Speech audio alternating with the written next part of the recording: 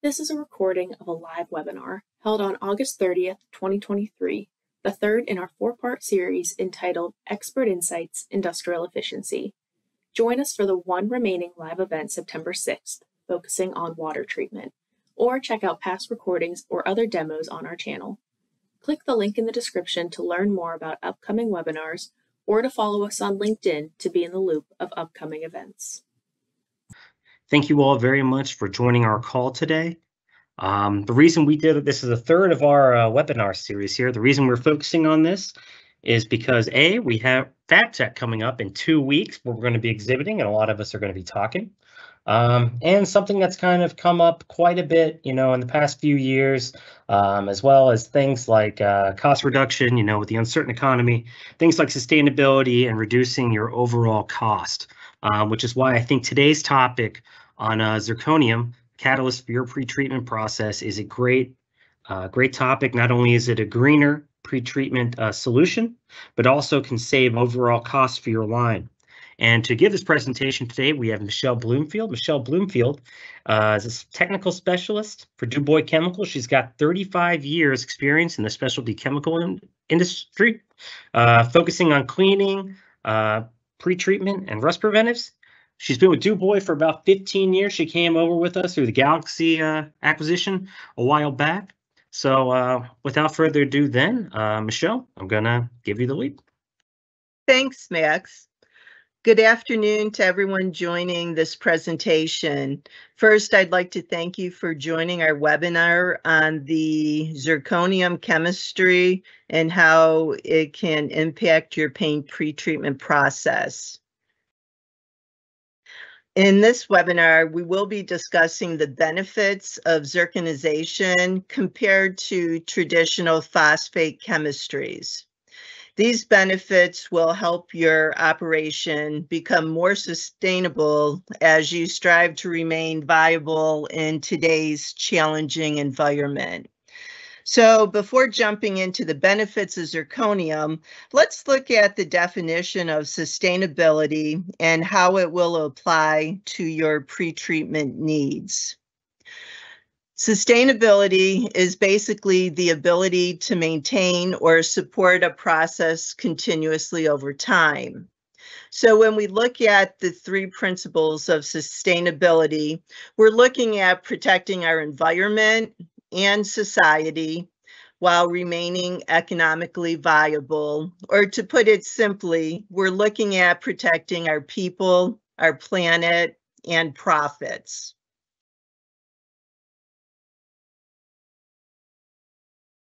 Our objective when looking at pretreatment programs is to find a program that one conserves our natural resources. We want to find ways um, to save energy, water, etc.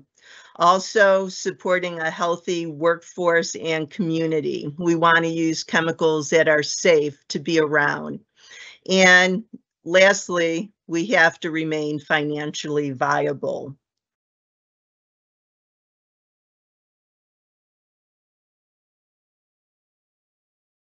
When choosing a chemical program, we want to take into consideration one, what is the energy consumption going to be, as well as water consumption. And then with any pretreatment line, there's a lot of labor and maintenance cost involved in ensuring that the washer is operating optimally. Also, we want to use environmentally friendly chemicals um, because we have to look at what we're discharging to our municipality or um, waste disposing um, into the ground. And we also want to be cost competitive. So when we look at all of these um, aspects of what we're looking for, we want to make certain that we can also use this in our um, current washer and that you'll be able to maintain the performance requirements desired.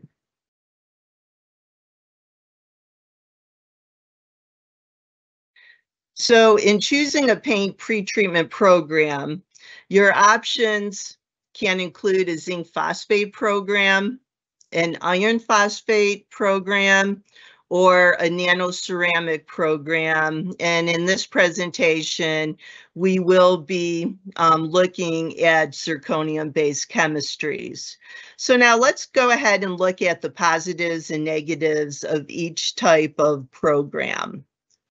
So starting with the zinc phosphate, um, the benefit to zinc phosphate is that you typically can um, develop a high to superior performance coating. And with that, that's telling us we can achieve high salt spray um, results. However, it typically requires a minimum of six stages in a washer. And to produce a zinc phosphate coating, um, high temperatures are typically required, which is going to result in high energy consumption.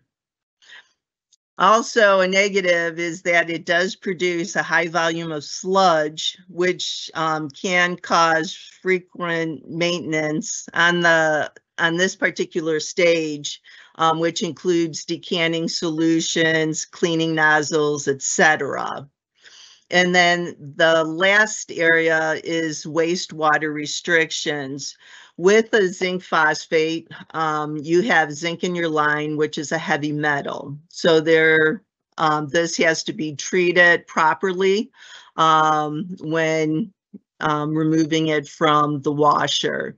It also contains phosphates, and in some areas of the country, there are restriction on phosphates. So that could also be a negative, and the pH of this particular um, solution is extremely acidic. It will run in the um, pH of twos. So typically um, there has to be um, pH neutralization occurring to take it from a corrosive mode. Going on um, to the next chemistry um, that is available, it's iron phosphate. And typically um, the corrosion protection that we get, it's not going to be as good as a zinc phosphate. You'll typically get standard to high performance coatings, but it's more difficult to get that superior um, performance coating. This usually can be applied anywhere from a two stage washer up to a five or six stage washer and the amount of stages in the washer typically impact impacts the type of performance that you're going to get out of the coating. You will need um, some heat on your iron phosphate, but it's much lower than with the zinc phosphate. Um, temperatures typically are like 110 to 130. Um, so it will consume energy, but much lower than a zinc phosphate. Like zinc, it also produces sludge. However, the amount of sludge produced is not as great as a zinc phosphate. So normally quarterly um, or every six months, sludge will have to be removed from the washer. And then um, in regard to wastewater restrictions, Phosphates, again, can be an issue if there are restrictions um, placed on an account from a municipality. And then moving on to zirconium. The type of corrosion protection um, that we see can be from standard all the way to superior performance coatings. The level of performance, though, will be dependent on the number of stages. Um, we can apply a zirconium anywhere from a washer that has three stages all the way to a six stage washer. But with a three stage washer, you're going to achieve more of a standard type coating. The really nice thing about zirconium is that no to low temperature is required. The only thing when we look at temperature is typically we can produce a coating at temperatures from 60 degrees Fahrenheit up to 110 degrees Fahrenheit. So in areas of the country um, where you experience extremely low temperatures, um, when coming into the plant, if your temperatures are below 60 degrees Fahrenheit, um, we normally recommend um, a heating source just to take the chill off of your zirconium bath um, prior to starting up. And this is normally after sitting over a weekend. The nice thing on zirconium also is that it produces minimal sludge. Um, you typically will get uh, more of a particulate that is um, has a tendency to dust or fall on the bottom of the tank. And it can easily be flushed out with a hose.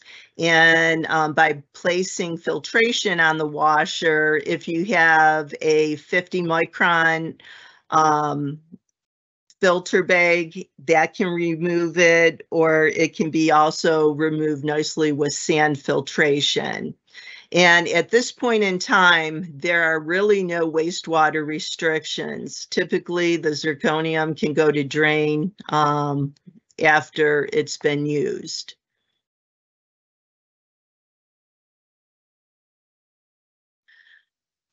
So in summary, um, the benefits of um, the zirconium programs, you can expect to see coating performance, greater or equal to an iron phosphate program. You'll also see reduced cost in energy because we're operating at lower temperatures. And then because we're not sludging, um, our nozzles stay clean. Um, so there's a reduction in maintenance on the washer. Um, it's easy to remove the sludge. And again, um, there's very little cleaning of the nozzles. And the last thing, um, you should see reduced water usage, and this is due to running at low temperatures. Um, you can expect to see less evaporation of the water, which in turn um, reduces the usage of water.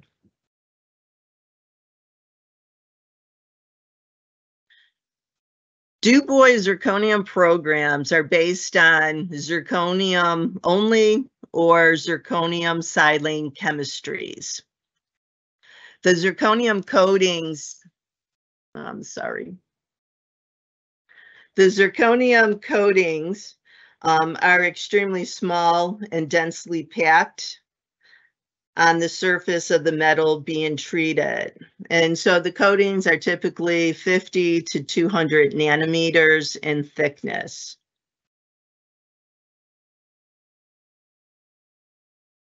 In comparing the zirconium coating to phosphate coatings, um, the structures for zirconium and iron phosphate will be amorphous where the zinc phosphate does develop a crystalline structure. So that is one of the major differences in the type of coating.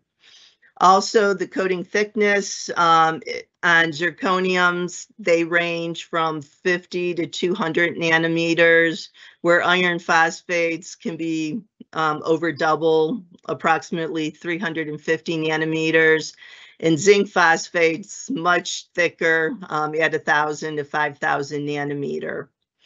And then coating weights um, typically will range from 5 to 15 milligrams per square foot on zirconium treatments.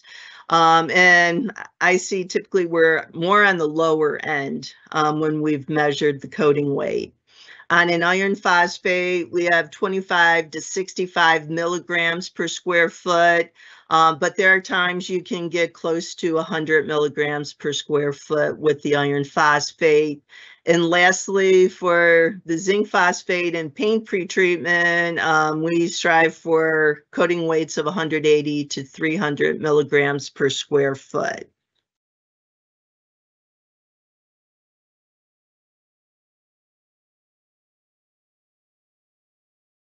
In comparing the differences of zirconium versus phosphate, um, we like to look at zirconium. It's the best applied at cool temperatures, not warm to hot, like iron phosphate or zinc phosphate.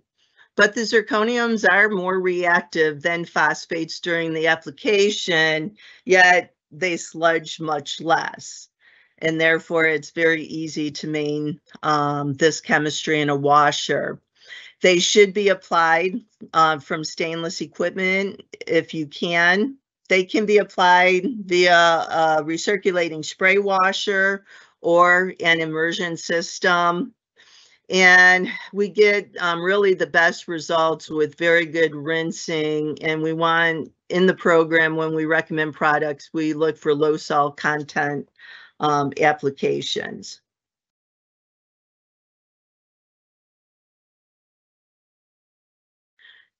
As we talked about, um, they're usually applied from a washer. And again, recirculating spray or immersion, and you will see a change in color in the metal um, that you're treating. And that's if it's steel, um, just like you would with an iron phosphate. The application method is somewhat similar to a phosphate where the chemistry behind um, forming the coating is we pickle the metal as it enters the conversion coating step and then we deposit the coating on the surface. Um, it, like iron phosphates and also zinc phosphate, it does require some measure of control and attention to the process. You want to make certain you're um, achieving the um, right concentration, pHs, and temperatures, times, nozzles, everything like that. And again, they work by passivating the substrate with respect to corrosion, and it does enhance the mechanical and physical paint bonding.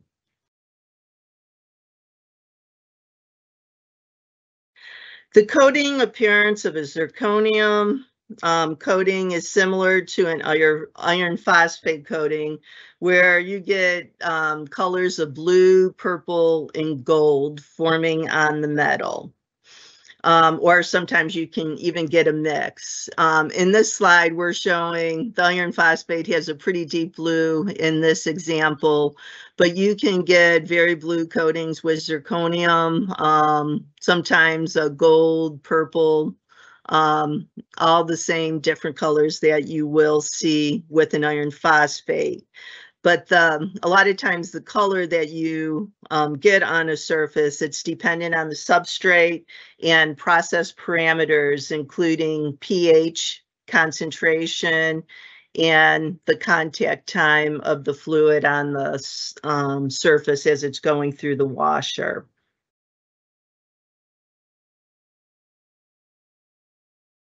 Now let's look at um, a couple different type of processes using our zirconium programs. Um, you can run a zirconium process in a three-stage washer. And when we do this, um, you can expect um, to achieve up to 500 hour salt spray. And so we've rated this as a standard performance.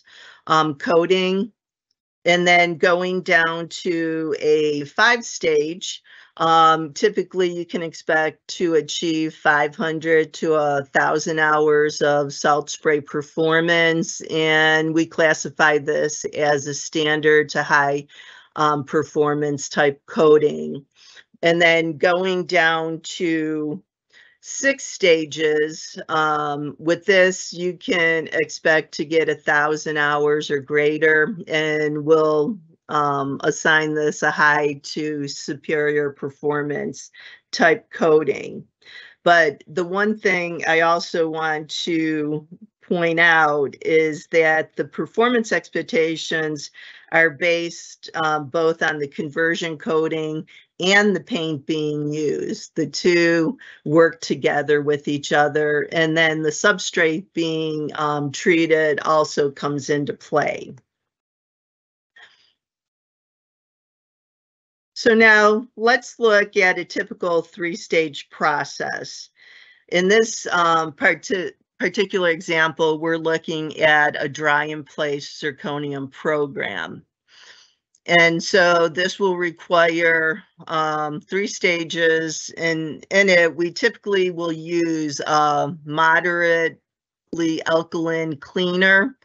Um, and in this example, we're using GF Clean 1052 and it is being um, used to remove any type of um, contaminants, including your oils, rust preventatives, coolants, dirt. And then in the second stage, um, we like to have an overflowing um, rinse water. And if we can have it, RO is the preferred water source um, because we're looking at minimizing contamination into our dry in place zirconium. On the rinse water, we always recommend putting in an RO halo right after that rinse to give it it acts as almost like a virgin rinse because the water is very fresh and that will act as the makeup water um, for your second stage. And then in the last stage, um, we are using a um, dry in place Duralink 450 um, as um, to form our conversion coating. So now let's go and look at the parameters of this process. So as I mentioned, stage one, we run that with an alkaline cleaner and we um, the GF Clean 1052 is moderately alkaline. It's good on all metals. And when we choose cleaners for our zirconium process, we like to choose our cleaners that are phosphate free so that we can say the entire program is phosphate free. This particular cleaner can run at lower temperatures. Um, we'll run it as low as 100 to 125 degrees. Um, temperature, though, is going to be dependent on the type of soil on the part. Um, you want to make certain that you are removing all soil and that you achieve a water break free surface. Um, our exposure time with the cleaning stage is usually 30 to 60 seconds long. After exit, exiting the cleaner stage, we then go into the rinse stage, um, which again is that overflowing rinse. Um, it should be at ambient temperatures. Um, exposure in this stage should be 20 to 30 seconds. And again, um, having that RO halo um, used as um, makeup as the makeup source makes a huge improvement in reducing contamination into stage three. And then again, stage three in this example, um, we're using our Duralink 450, which um, is a zirconium silane based um, seal. And the exposure time in this is usually, usually 20 to 30 seconds. And it does run on the acidic side. Um, the pHs that we maintain um, with this chemistry can range from 4 to 5.5 and the pH will be dependent on the process and the type of um, substrate um, being treated. The next process um, is a five-stage process, um, which replaces the five-stage iron phosphate program. And what we do when we convert a washer that is already in place um, five stage iron phosphates were always um, designed to clean in stage one, rinse in stage two. Um, the iron phosphate was normally placed in stage three. Um, four was a rinse, and then five was a final rinse or a final seal. So when we convert um, a system over to a zirconium program, um, we like to have two rinses after an alkaline cleaner to minimize any um, carryover or contamination into the zirconium stage. So in this example, um, we have used um, one of our highly alkaline products, GF Clean 465, um, followed again by two rinses. And we prefer RO um, if you have it, but we can also run with your city water. Um, we like to counterflow our water from the second rinse or stage three to the first rinse, um, which is stage two. And we also like to have um, or utilize a RO halo after that second rinse, um, if possible. Again, it's just that virgin water that you're rinsing with before going into the um, zirconium conversion coating. Um, the reason we want to minimize contamination into the zirconium are these um, chemistries are not um, buffered as much as a iron phosphate. And because of that, alkaline carryover into it can change the pH quickly and it's imperative when running um, zirconium to maintain pH. If pH goes over um, the recommended parameters, you can drop out the zirconium from the bath, um, which will then um, inhibit or reduce that formation of the conversion coating. Um, in this example, um, we have used our Duratec 400 um, which we'll discuss in the next slide. And then again, we followed that by an RO water rinse. Um, with this type of program, we typically can achieve a, around or up to a thousand hour salt spray. And again, paint and pretreatment, they're tied to one another in determining optimal um, salt spray performance.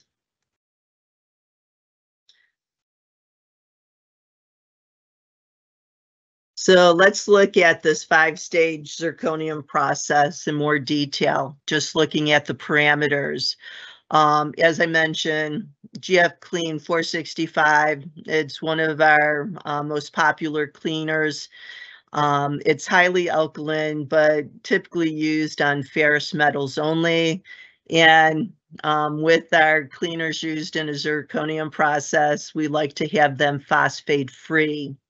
Um, this particular cleaner, we normally run um, in a temp temperature range of 120 to 130 degrees Fahrenheit with exposure times of 45 to 60 seconds.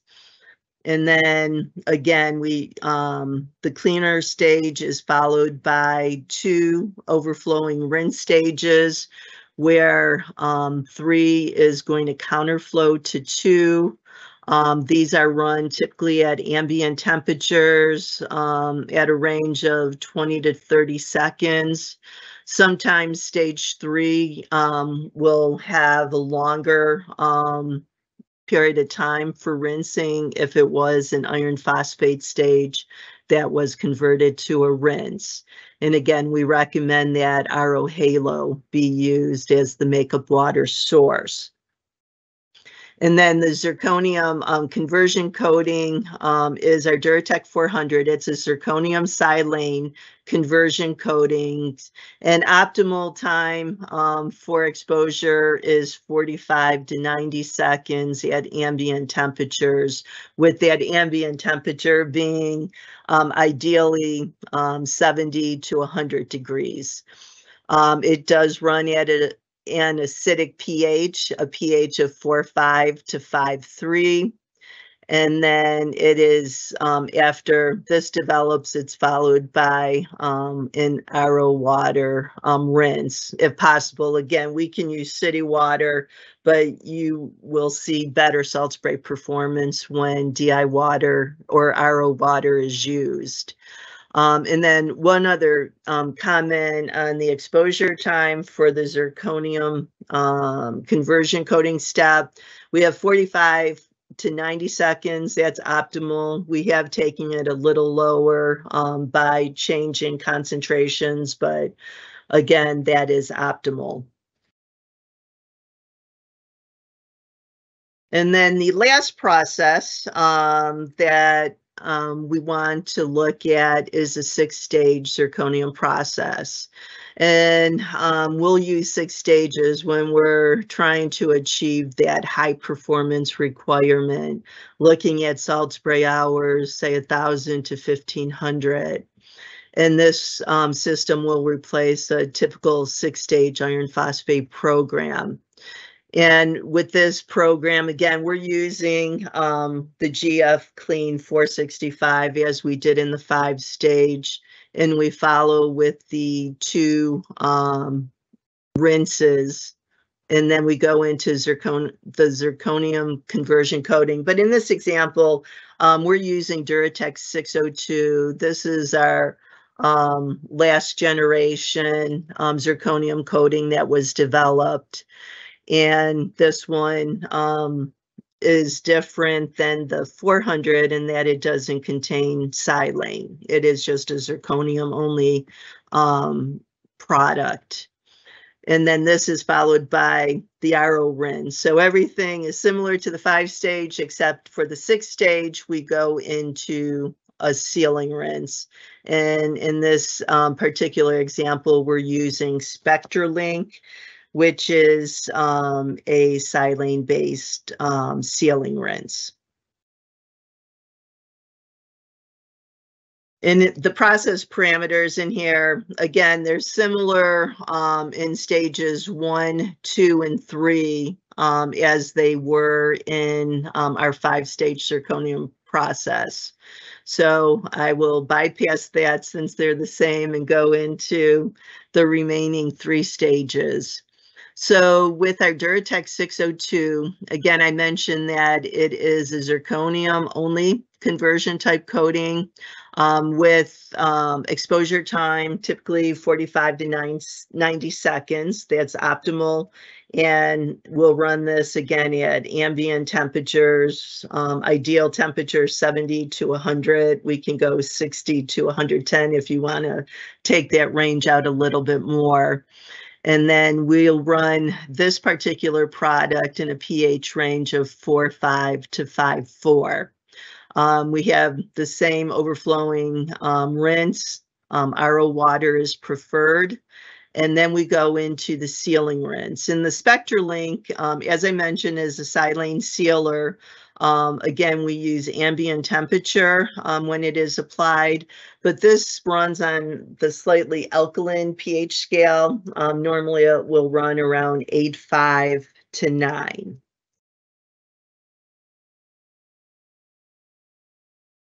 So in conclusion, the zirconium programs typically meet performance specifications, which include salt spray um, hours and your paint adhesion. They are the most environmentally friendly um, programs or chemistries available today. Um, they're phosphate free and heavy metal free. Um, when you run them, you conserve more water because of the temperature um, that we run the program at.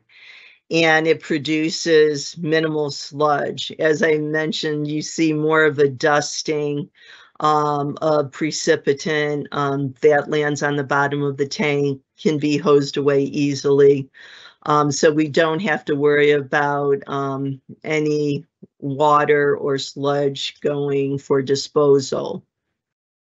They're very energy efficient um, programs. Um, we have customers who have saved tens of thousands of dollars going to a zirconium um, by running the lower temperature. Um, their heating um, or their um, gas bills went down significantly went down significantly, excuse me. And then um, again, because they don't really sludge, it's um, reduced labor and maintenance costs when you compare it to either an iron phosphate or a zinc phosphate. And change outs are so much easier when you have to um, change and replenish with new chemistry.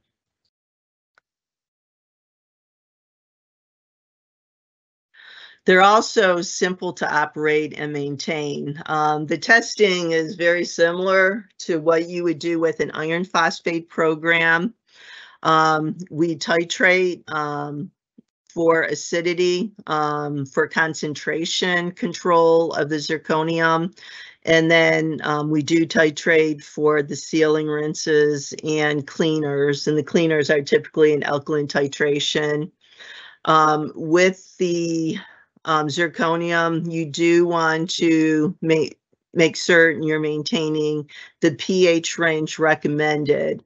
And here we have a wide um, range of four to five, three, and we will um, set or recommend the parameter that you should run a program at based on the type of substrates being run.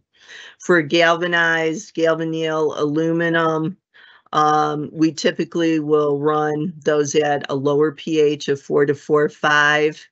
And then um, with the ferrous metals, cold rolled steel, hot rolled steel, um, hot rolled pickled oiled castings, we typically will run four to five, three. Like iron phosphates and zinc phosphates, um, you can utilize feed and monitoring equipment um, on the system. Plus, um, DuBois also offers its analytics, um, which is a data collection program. So um, that is available. And then the other thing that is um, very important is that it is cost effective. Um, typically, we'll see total operating cost um, we find that they're less than a phosphate program. And this is because of all the energy savings and labor and ma maintenance that's incorporated into the program. So with that, um, uh, thank you for your attention. Are there any questions at this time? Thank you very much, uh, Michelle, for all that. That was great stuff. Um, the we did have a couple questions. So if you give me one second to be a person. Uh, the first question we have here is, since it's conversion coating, is uh, coating weight still a good metric? Or are there better things to use, just like periodic salt spray testing or something else? So still can, can is coating weight still a good way to determine performance with zirconium? The because the coating is so small um, the um, typical coating weight procedure of using um, a, the strip method with chromic acid or an alkaline strip it's not as dependable as it is with an iron phosphate or zinc phosphate. And again it's because of the amount um, some of the um, testing that has been done is by using um, X-ray for the levels, but that is um, a little bit more time intensive um, to get that reading. We have found that if you have zirconium in your bath um, through your titrations, and um, if you're seeing color on the metal, that you have developed um, a good coating to achieve your results and to just verify um, running performance testing such as salt spray would be recommended periodically. Thank you. Um, another one here that we have is at the beginning, um, zirconium wasn't really as accepted in the market. You know, are, are we seeing more um, big names or key players kind of moving towards zirconium, or is it still kind of just uh, a lot of nerves about moving on forward? I would say um, in the work that I've done in the field over the last few years, zirconium really has become an accepted um, chemistry to be used. Um, I remember I've been around for many years when zirconium first came um, out. It was very difficult to run the bass. Um, you would see parts coming out bright orange, and it, a lot of it was just iron oxide on the surface. Um, bath lives were very short. Um, baths had to be dumped weekly or every other week. So they were difficult to run and maintain. Plus, the results were not what had been um, anticipated or expected. But over the years, we've all learned um, the deficiencies of um, in the formulas that were initially released, and formulas have been changed today to where you're developing that conversion code and you get the nice color. Um, you're not getting the flash rusting and um, the amount of time it takes to develop that coating um, has decreased. So it, it's much easier. It's to me, it's just as easy as running as an iron phosphate. And the only downside to a zirconium, and it's really not a downside, but you have to maintain um, have to be certain you maintain that pH range that is given to you because if you um, if your pH goes too high um, and exceeds um, the range provided, you can start losing the zirconium and you will lose your coating. Awesome. And what I think one more I've got here, and we may have more popping in. Um, so, I mean, with the regulations we saw with zinc phosphate and iron phosphate, is there anything kind of coming down the road for zirconium? So today, um, the one compound we're seeing, we're starting to see some restrictions on is fluoride. And the most common source of um, zirconium that is used is um, the zirconium does contain fluoride. And so if anything changes in time, that may be um, something that we will have to address. Excellent. And um, this one seems a little bit more specific, but I mean, is there a specific chemistry that we recommend for descaling a zirconium tank? And uh, I guess that's one question, and then I'll ask the other uh, other ones coming off like that. Okay. Um, you can with the zirconium systems i have seen very little scale develop. Normally just a good clean out with a cleaner can remove it. You can if you're doing an entire washer though where you're doing an acid descale i you know i like using the same chemistry across the board. If you're just using the zirconium tank you can use um, an acid um, we have our Alidox NF or um, GF Acid Clean 3077 LF. Those are two of my favorite. But again, if there's no scale, you could just do a quick a quick rinse with a moderately alkaline cleaner just to remove it. But with that, you'd want to be certain that you got all alkaline residue out of the washer before recharging. Awesome. A um, couple more. Uh, what equipment is normally used to maintain a zirconium bath? Uh, conductivity, pH, etc., uh, etc. Et Good question. um, I've seen both used. Um, the zirconium, like all our other chemistries that are used in pre-treatment, um, it does um, have a certain level of conductivity and so you can feed based on conductivity. And then sometimes we have that additional pH because pH is so critical. We'll have that on the side just to ensure that we're maintaining that recommended pH range. Um, I've also seen if your um, part configurations are the same um, that you run, you know, day to day. Um, you could even have um, a timer used where we're constantly adding product throughout the day um, once we determine the amount of product um, that's used on average. Awesome. Um, and then we have kind of um, kind of a two-parter. It says, uh, you know, have you ever seen a zirconium silane sealer tank that is fouled with biological matter?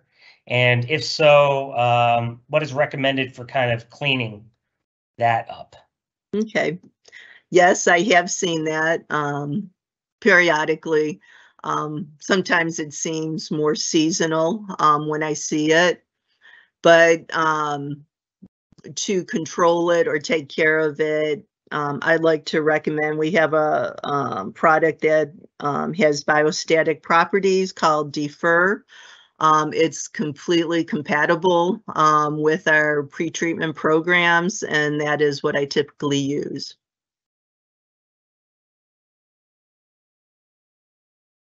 Excellent. Um, and with that, I think that is kind of all she wrote in questions. So, um, you know, we ended maybe 15 minutes early here, but before you guys jump off, um, I just wanted to make sure let you guys know that we're doing the last one of our series. Uh, we're talking about wastewater treatment, minimizing waste costs, the effective water solutions. Uh, Rich Moore, uh, senior product line manager. He's gosh, he's been with DuBois probably 20, 25 years. A lot of experience in water as well as surface finishing. Um, great knowledge on that. Is going to be talking kind of about analytics as well as you know waste treatment, how to design your system for it. Um, and if you are attending FabTech, please feel free to swing by our booth. We're going to be there all four days in the finishing pavilion. I think we got a pretty good spot in the middle of the finishing area. So make sure uh, look for the big tower. Come on over and say hi. I know me, myself, and Dave Schimpf, uh, well, me, myself, and I, uh, me and Dave Schimpf, we're going to be giving a talk kind of uh, see it, touch it, fix it, which is kind of troubleshooting um, with your pre-treatment line. And then we're going from cradle to grave uh, with Dan Nesper, myself, and Dave Zarzinski. We're going to be talking about um, racking as well as all the different pre-treatment options, maybe go into depth a little bit more on some of the other options you see available. But with that, I want to thank everybody for uh, jumping on the call here. Uh, yeah, our booth number is going to be D40130. Uh, thanks for joining. I look forward to seeing you all next week. Uh, take care of yourselves, and I hope you have a great afternoon. Thank you.